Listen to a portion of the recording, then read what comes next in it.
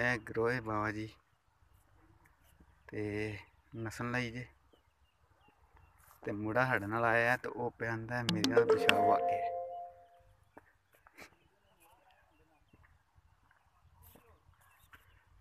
ਇਹ ਇਹ ਗਰੋਹ ਜੇ, ਬਾਹਰ ਨਿਕਲੀ। ਇਹਦਾ ਸ਼ਿਕਾਰ ਕਰਨਾ ਇਹ ਦੇਖੋ ਕਿੱਡੀ ਵੱਡੀ ਗਰੋਹ ਜੇ, ਧੁੱਪ ਸੇਕ ਪਈ ਹੈ ਤੇ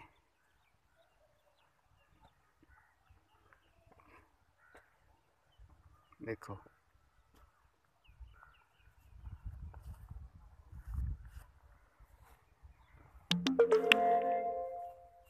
ਇਹ ਦੇਖੋ ਹੁਣ ਅੰਦਰ ਜਾ ਰਹੀ ਹੈ ਇਹ ਇਹ ਦੇਖੋ ਕਰੋ ਕਿੱਡੀ ਇਹ ਅੰਦਰ ਵੜ ਗਈ ਹੈ ਇੱਥੇ